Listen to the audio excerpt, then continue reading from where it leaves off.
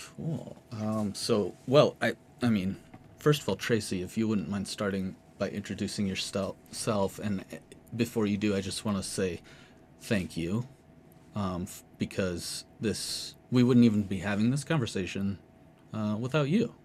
Uh, I don't know what it is you said at the table that we were at, uh, but it was like, hmm, maybe we should just do this. So, I'm thank pretty you. sure it was actually Clark because he introduced the two of us. Ah, okay, Yeah. Uh, hi, everyone. I'm Tracy. Uh, I work uh, in strategic initiatives at Syracuse University. Um, and um, I am, um, I think you're all like in the northern part of the country too. So we're all experiencing the same like blast of cold weather. Well, maybe except Clark. Clark might be a little bit warmer. Right, right.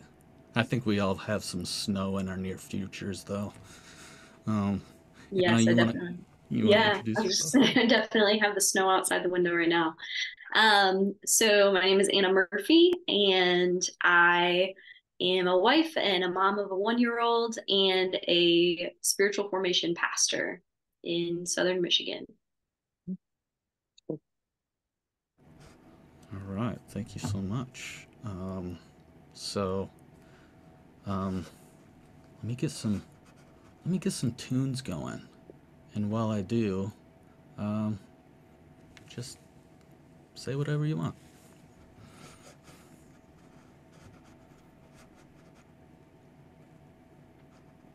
How was everyone's? Did you all get a little mini break last week?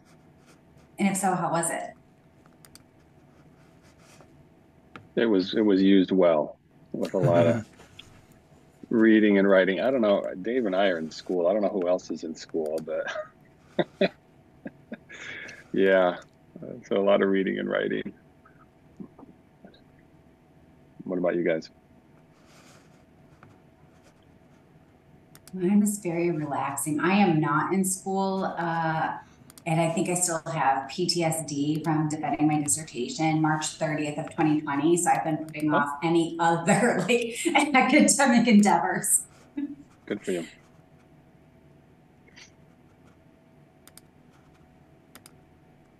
I had a very nice break, and uh, now I'm fixated on Dan's microphone here. I don't know what, what is it about.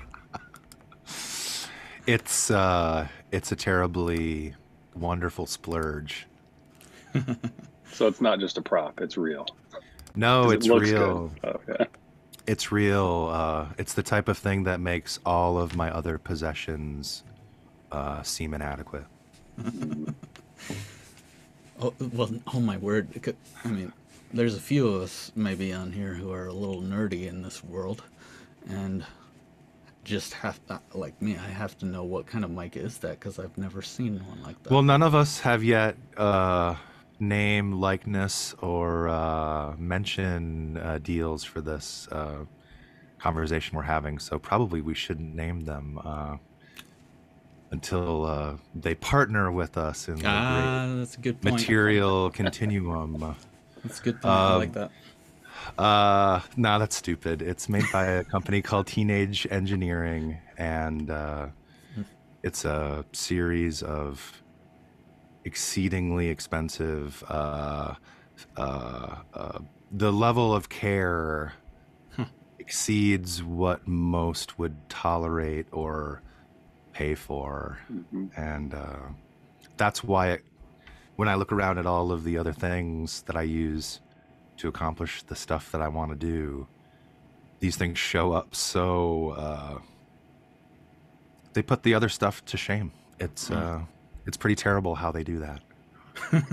I believe all the electronic components are fed only the best of purest, best strain of oxygen. Mhm. It's like when Apple rearranged the molecules in gold because they didn't line up good enough. yeah. Yeah. Yeah, Do I have say a. that Uh, they sponsor us, they'll send us all a mic for this podcast. You know, um, they are worth supporting, and a lot of us. Uh, seems like one of the reasons why people will show up in one of these little boxes with uh, Dave has to do with spirituality or uh, Mhm. ways of being in the world and uh, dang it these kinds of things help me relate to my environment and myself and the kinds of work i want to do so much better than there are many similar items uh, that are occurrent in the totality of equipment but uh, Mhm. this guy rocks Hmm. that's my commercial Well, I mean, it's not even a commercial really because it relates so much to the our theme today of creativity.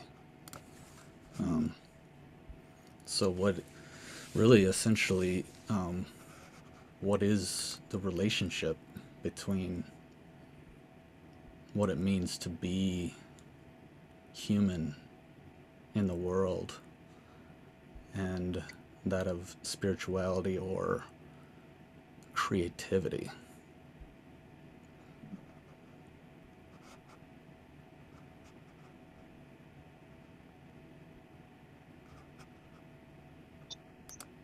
I'm curious if the rest of you have uh, part of why I like this thing so much is uh, there are skills that I have that I want to apply, and there's a whole series of practices that those plug into, and there you go. There's the music.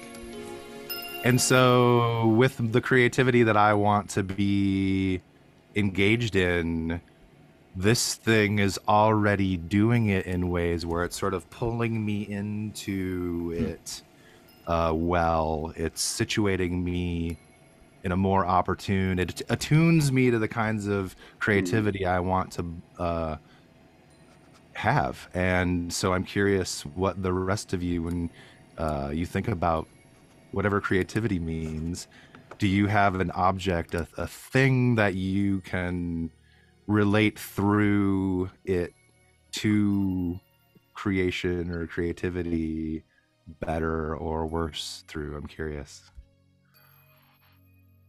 Hmm.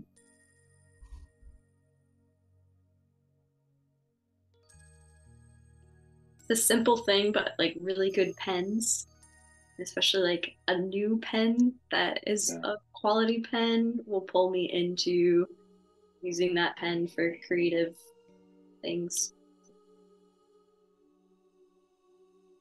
samey love that Yeah.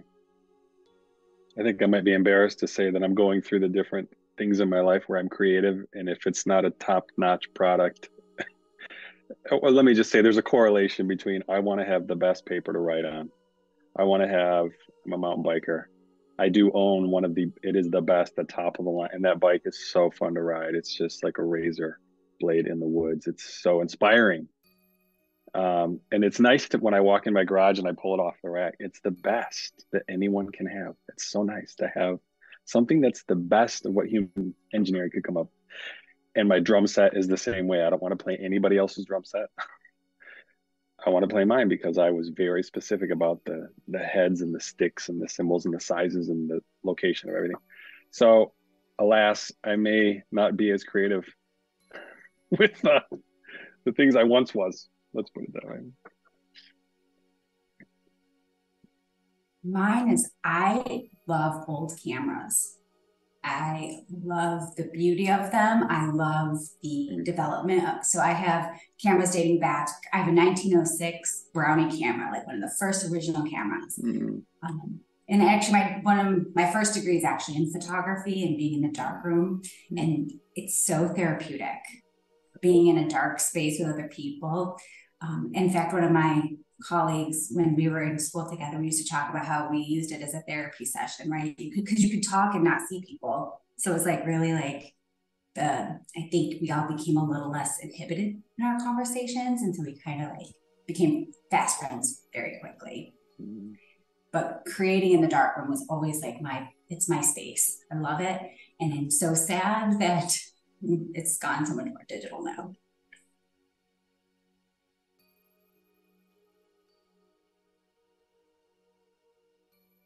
I was gonna say I'm I'm a little bit on the other end of the spectrum in terms of like I feel like as opposed to or not opposed to, but my sort of take is typically like whatever I have at hand, um, or whatever is most convenient in the moment and whatever. So for example, I have the same guitar I bought when I was 11 years old with money I saved from my paper out, which is a Fender Bullet, you know, a relatively inexpensive guitar. Um, I have the same bass guitar I bought when I was 19, you know, a, what a $400 Rickenbacker and I just and I've never bought anything else. So like typically I'll get whatever I can afford and what's available to me in the moment and then unless it's completely broken and absolutely unworkable, um, that will be with me for life. Basically, I have a saxophone, a guitar, and a bass guitar that I've had since I was 5, 10, 11, 12. Um, and similarly, um, I think, uh, yeah, like that's, you know, the bike I ride, I got it used off our neighborhood list serve, you know, a $500 bike that I ride to work. When I go to work, it used to be every five days a week. Um, but, uh, but I've I've known a lot of people in life who uh, have that other take of being able to like get the Ducati, get the you know the top of the line, this and that, and and I absolutely uh, I I can uh, super appreciate that, but it's never been where I've been, uh, mostly for budgetary reasons or just a choice, I guess maybe. Well, but what I'm noticing, Clark, is that you the the way of being in the world clarking is made more possible through the choices you made about what types of things those are. And when we can know something about your way of wanting to mm-hmm. show up in the world. It's about endurance and mm-hmm. not having to redo stuff. There's so much about a way mm-hmm. of life that you can get at through those things. And in that way it's no different than the ultra fetishizing of the tippity top end of the uh, uh, gadget scale. It's all about what kind of a way of being do we want to have, and these things help us do it uh, in how we relate to and through them. Um, but Anna may have a pattern challenger or uh, a new series when it comes to tools and equipment and how we do creativity.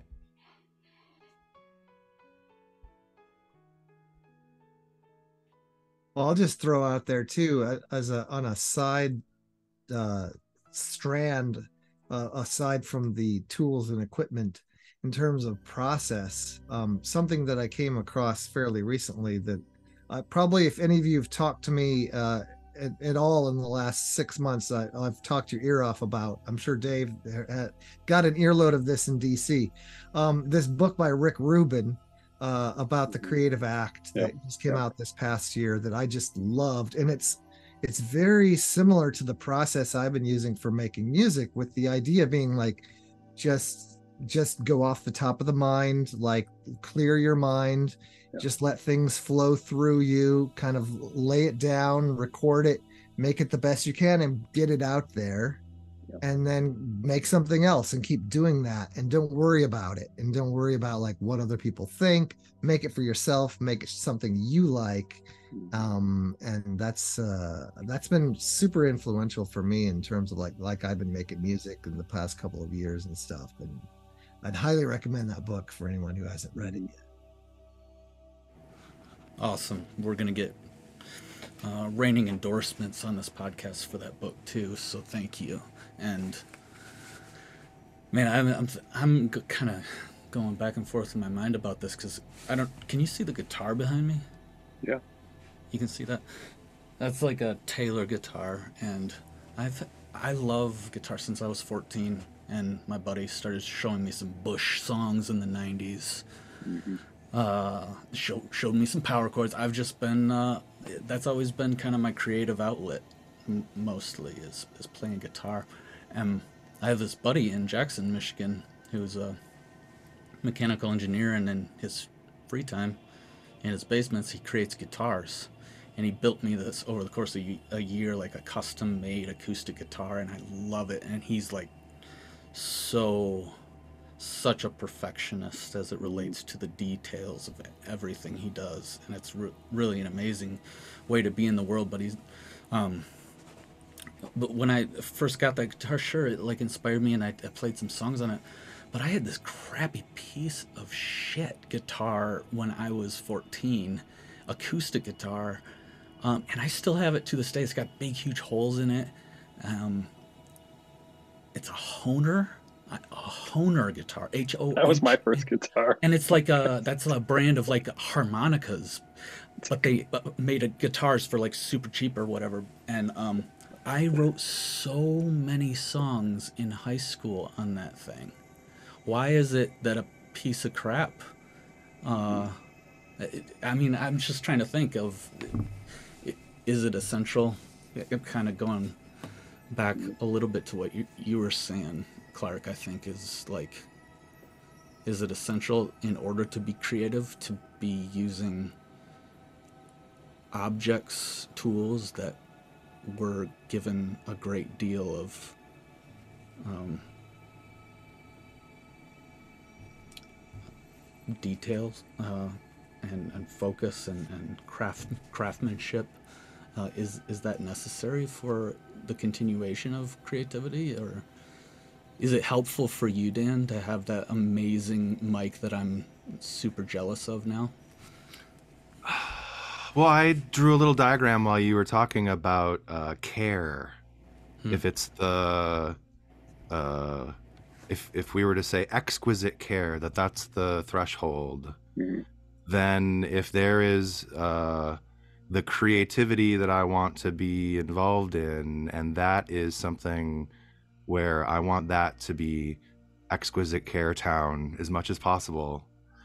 And if my relationship with that is mediated by a thing, then my gosh, yeah, then the the thing being realized through the ethic of exquisite care um heightens the probability of uh of it not artifacting. So uh, one of the architects that I love is uh, Louis Kahn, and you can see the artifacts of the plywood that was used in the formwork to uh, or Marcel Breuer. Holy crap! If you're ever in Collegeville, Minnesota. Mm-hmm. Or Muskegon, Michigan. There are two Marcel Breuer churches made out of concrete that have this formwork thing going where there's millions of individual boards whose imprint is in that mm-hmm. concrete and that that is the resistance of the so back to things and the celebration of things as ways that we can relate more and better to the world and to be in the world the way that we want to show up like it shows up yeah if there's no mm-hmm. resistance in the middle there that might be awesome but at the same time there's plenty of like your guitar dave uh, the resistance there um, or uh, clark the resistance through time of some of the objects that you abide through um, and james uh, no resistance mm-hmm. um, yeah. at the high end that's one thing that we can say about those right. things i don't know if the if the yeah if it's the ethic of exquisite care so much as uh, total domination of market or what have you, but you might end up in the same place of it doesn't. I don't feel it when I reach through it to do mm-hmm. creation. So yeah, again, I think my, I'm always my, going to try to make us be talking about the same thing and not different things. Well, I think reflecting on this, my experience is that I want to get into the flow unencumbered, unhindered, and if I when I approach my drum set, there's little gaskets between the lugs and the shell, which reduce the vibration between the metal sitting on the maple. Now, nobody can hear the difference. But to me, in a recording situation, I don't want to deal with any problems. When I do record, I have a studio at home. I just want pure tone. And when I'm riding my bicycle, I don't want to deal with shifting or braking. I just want the pure, I just want to focus on what's happening. And I kind of, even though I do appreciate this exquisite craftsmanship of my instruments, I just want to forget about them while I'm using them.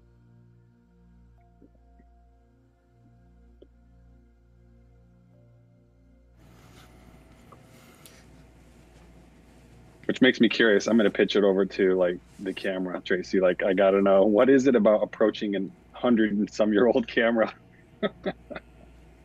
so as you all were talking, and I think this is going to answer your question, James, too. I'm thinking like we're talking about these objects, but we're talking about them with so much emotion. So maybe it's not necessarily the things, but it's the like feelings that they how they present the feelings inside us. Like when you see a beautiful building, like or when you ride a smooth bike or play.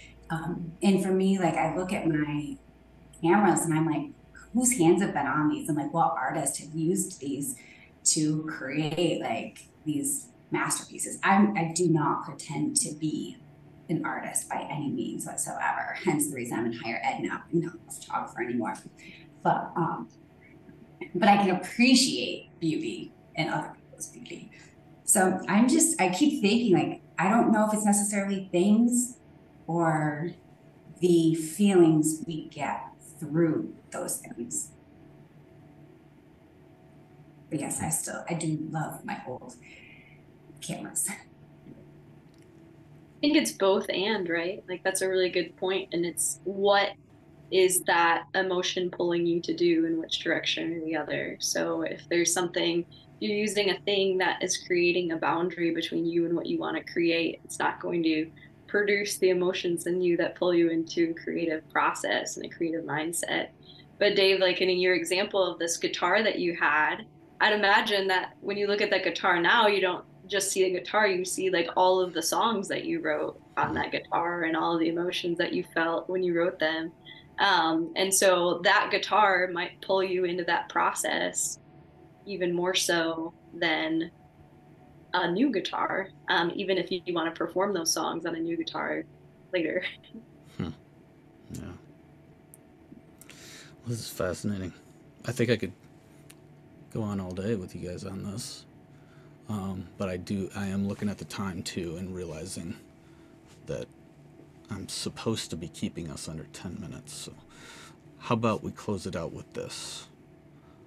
Anna, if you wouldn't mind actually just starting us off with answering the question what is creativity in relationship to your being in the world?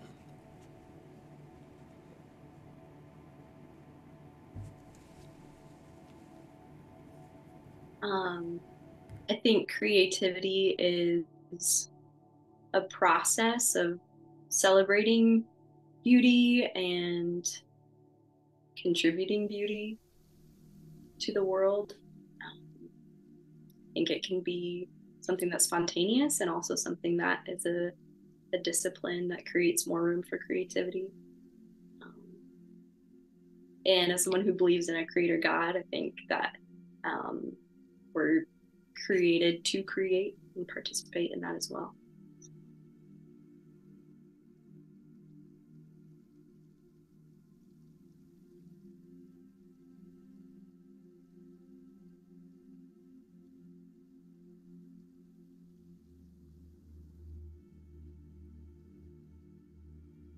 Creativity for me is uh, both a means of producing something, but also a way of being in process.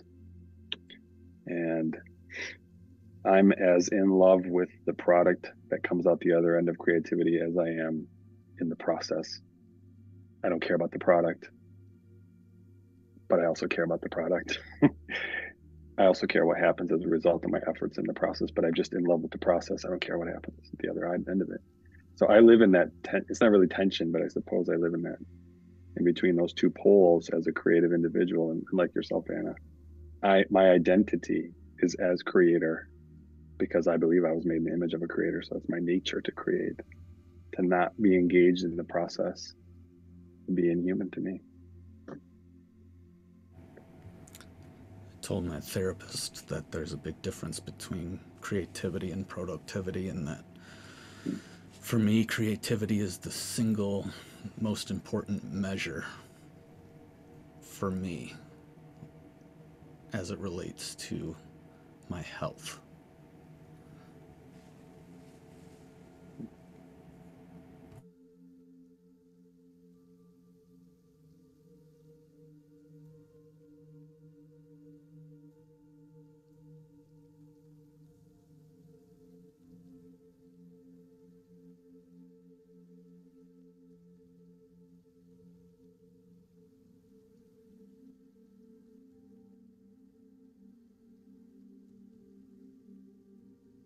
Creativity of thought, of speech, of movement,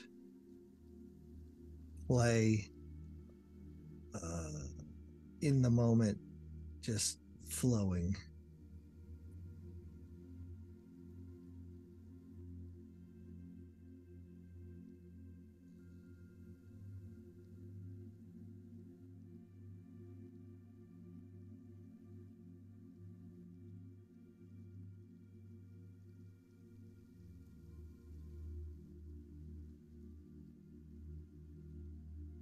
Really trying to find an answer to this question, and I just keep coming back to this thought. Like I, um, I'm a very relationship-oriented person. I really like finding the uniqueness in people, but also like similarities and like the way people are connected and the way we connect with our surroundings. And I think, I don't know, I think there is um, creativity in the way we interact with others and it's really cool to observe those interactions um, between other people as well and the environment.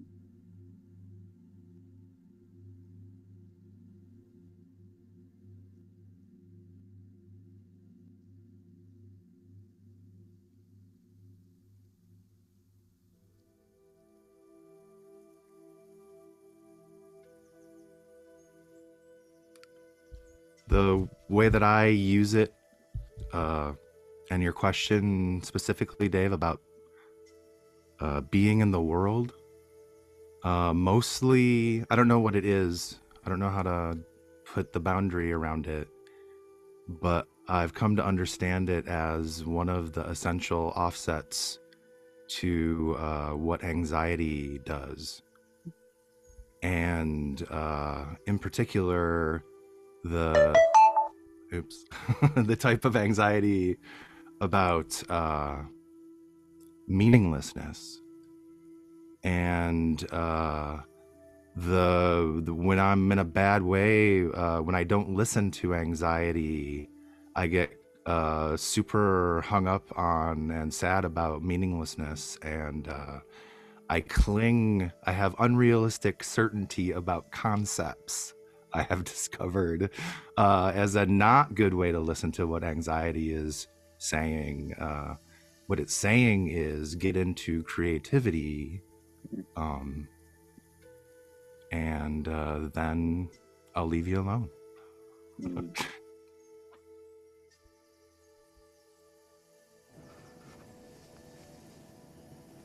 Thank you, friends. Namaste. See you next time. Yeah. See you. Take care. Bye.